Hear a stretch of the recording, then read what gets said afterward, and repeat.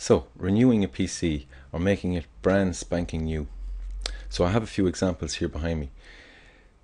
What you need to know about renewing a PC, right? There are certain PCs that you got to be aware can't be renewed.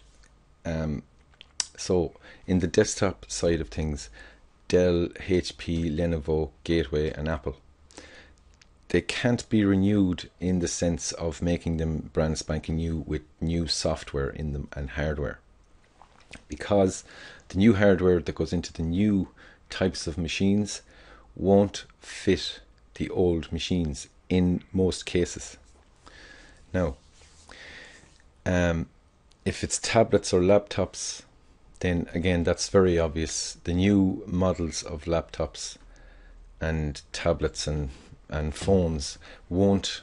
Um, so if you had an old laptop, the new models, the actual board won't fit in it, the, the systems board. So just to show you.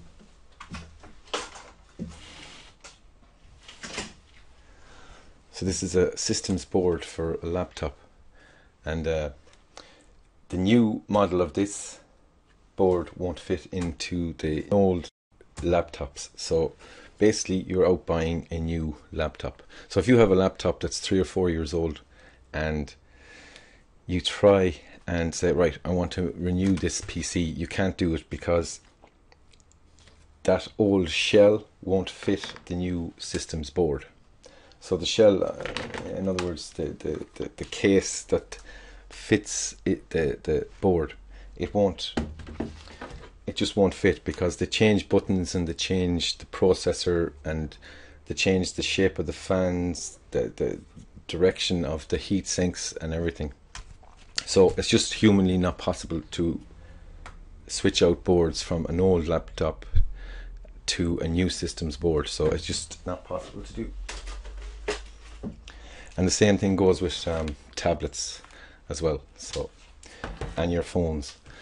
So the desktop is a different kettle fish altogether. Now, some of the Dells, HPs, Lenovo's, Gateways, Apples, you can upgrade them to new boards if their back, the actual back of the PC is shaped to fit a standard um, standard motherboard.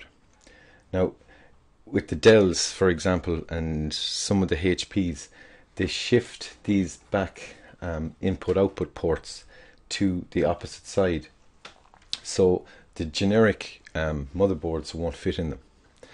So you have to either take off, remove the back, and put on a new back. So you, you need um, to basically cut the case apart in order to make it fit. So that's not an option either. So custom um, cases is the only way to go if you want to renew a PC. Now, why would you want to do that? Well, you can make this uh, um, case um, completely mobile. So you could sit this in your um, kitchen or your bedroom or your living room or out in a out in a shed and uh, get it connected into the house wirelessly and you could have little wireless screens like this guy to view the information that's on the hard drive, which is where you do all your work anyway. Um, that basically the hard drive sends the information out onto the RAM and you view it on a screen such as this or the, the normal monitors that, that come with desktops. But it's so easy now. You can put it through the network, your your router, or, whatever you know. So this is the only machine really that can be upgraded.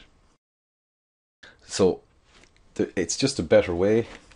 Um, instead of going out buying new laptops every three or four years, or tablets every three or four years, they, they just don't last. Nothing lasts. Like even the desktops don't last. So at least with the desktop, you have the option to renew the systems board and replace the uh, you know the different cards that are in it you know bring them up to to um, new technology so every three or four years you should be doing this anyway if you want to stay current and you want to use all the latest software and that kind of stuff. Now, this particular machine is still working and it was made in 2004. So that makes it 12 years old and it's running on XP and it's it's a good enough machine for checking email and general kind of looking out on the internet because there's only uh, about a gig of RAM in this machine.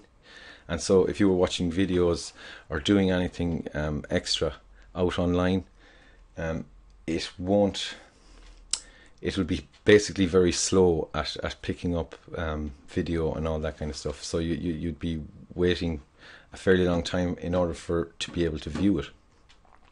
So the good thing to do is to upgrade them. And this is a lot cheaper a way of doing it because you can change the systems board say your hard drive is okay and you can still install a new operating system on it and all that good stuff. This is the way to go if you want cheap and fully mobile and you know when something goes wrong with it it can be fixed as opposed to your laptop. If you break the screen right you can replace that. If you just if the the hard drive gets corrupted or it just dies you can replace that. But if the systems board in the laptop dies or gets old or can't use new software like it used to then you're out buying another new laptop. So desktop is the way to go and it's so easy to do look there's thousands of videos out here on YouTube. Great guys showing you how to do all this stuff. All there's loads of um, videos on how to do it. So it is very easy to do. Now, the main problem with renewing a PC, a desktop PC, is knowing the parts that you want. So what you want the computer to be able to do. So I'm going to show you a um, PCPartPicker.com. It's a website where it if you select a particular type of board that you want, um, again, it's not hard to figure this stuff out. Again, loads of videos out here on, on YouTube showing you how to do all this. But the main thing is that once you pick a motherboard, then you have to pick, say if it was an Intel motherboard, so it had an Intel processor in it, you would have to go with an Intel processor and you'd have to have particular type of RAM. And if it was say an AMD board then you'd have to have an AMD processor. Again all these things they sound complicated but they're not. There's just basically there's only two makes of processors for for desktops. And it's just getting that right um, other than that there isn't a problem with upgrading but as I said I'm going to show you how to pick the proper parts the, the parts that you want. Say now, if you're looking for something that wants to play games, then you'll need a pretty good graphics card, unlike the one that's in this, which is only a small uh, viewing, basically viewing for monitor card. Um, you're not going to get any spectacular results out of it. So you need the extra power for running games because the graphics are so, you know, there's there's a lot of power being pumped into the the actual graphics of the processors. So it needs a lot of power and therefore you need a graphics card in order in order to run games with you know with, with good bit rates, you know. So so that's pretty much it.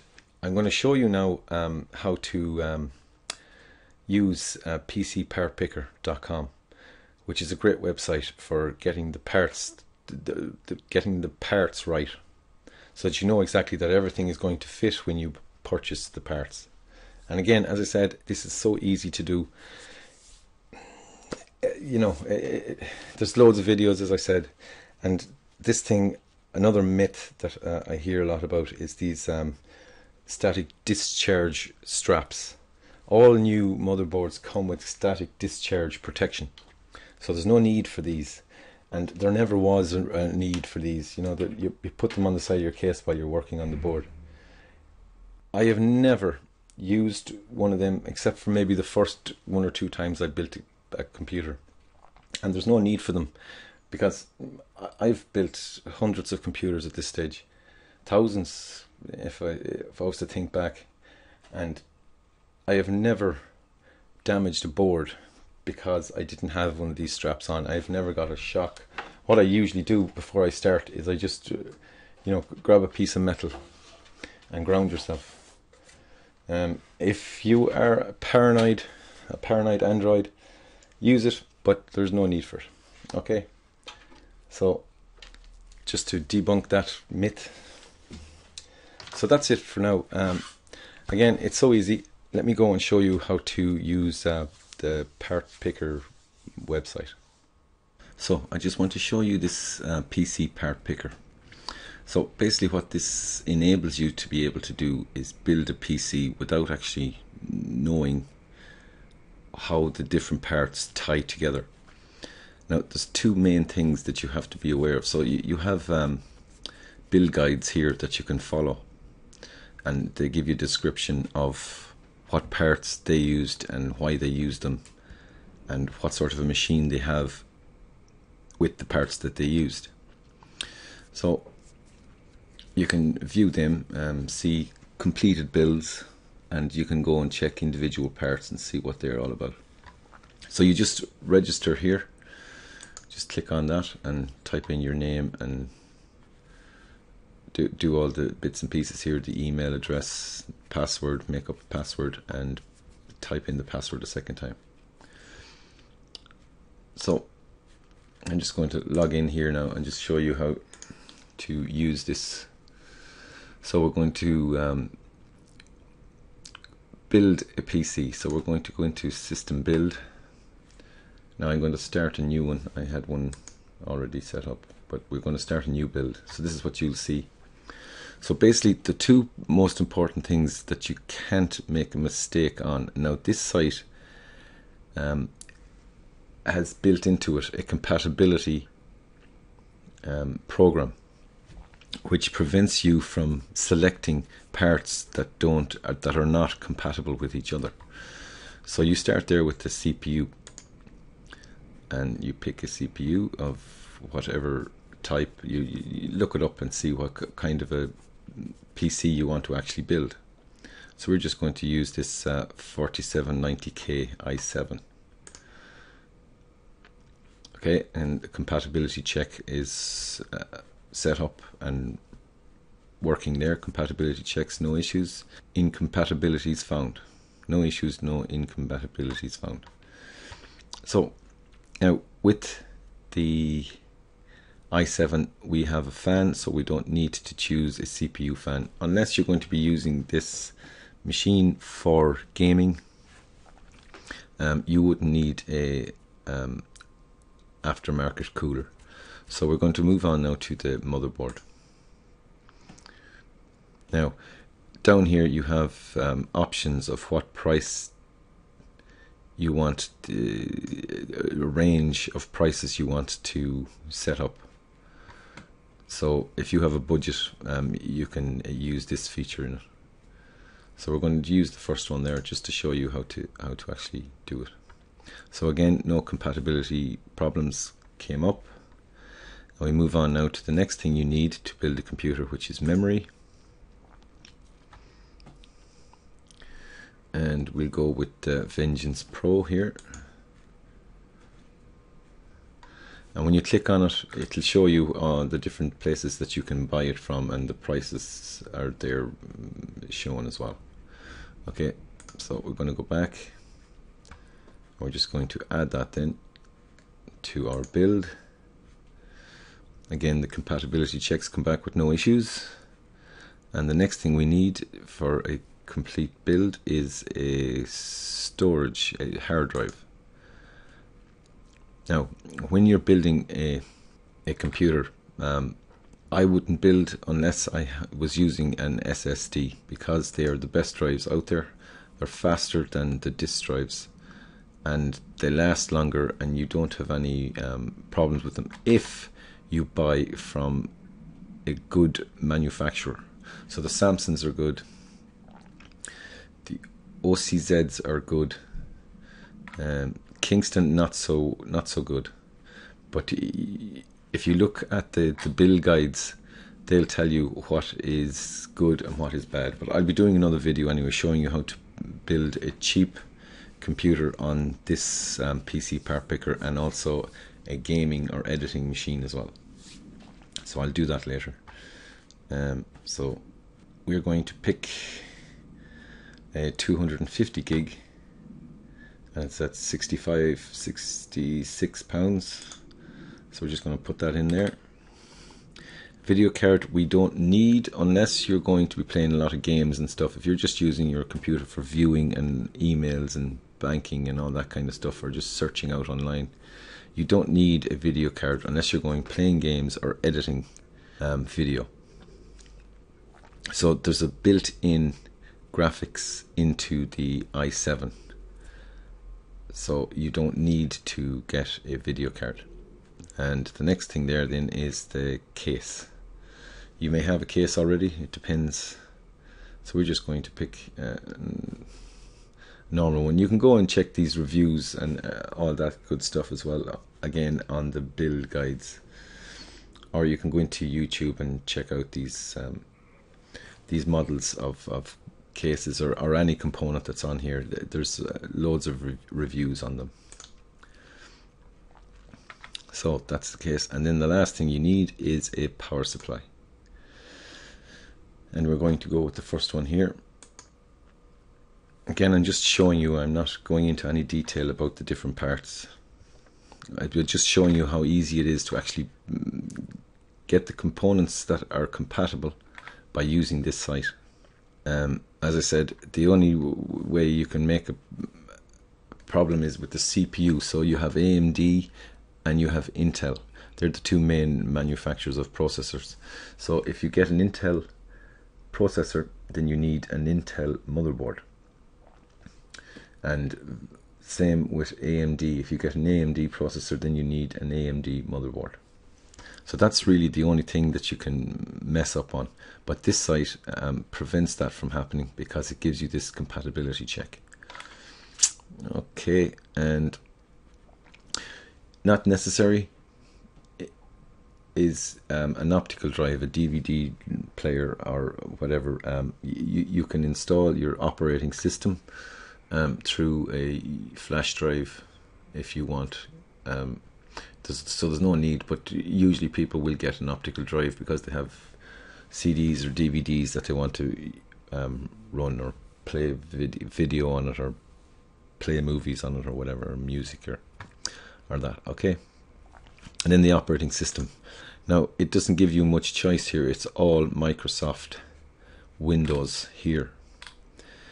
But um, there is free versions of operating systems like Ubuntu from Linux which is open source operating system and I'll be doing another video on that just to show you um, how good it is in compare comparison to Microsoft or Apple um, operating systems. So again, you can set a budget here of your whole build as well. So we are pretty much finished here. I I um, put on Ubuntu on most systems that I, I use myself. I I, um, I prefer it because it's faster than Microsoft um, Windows in every way, and it gives you more control, and you don't have to be paying for software that you use on it uh, either. You know, because it's all it's all freeware, and it's just as good as Windows. So our total there is six five 5.89 pounds. So that's how you use um, PC part picker. If you have any, um, if you want any information about this, um, go ahead and let me know here on YouTube by adding a comment or whatever. Okay, thanks for watching.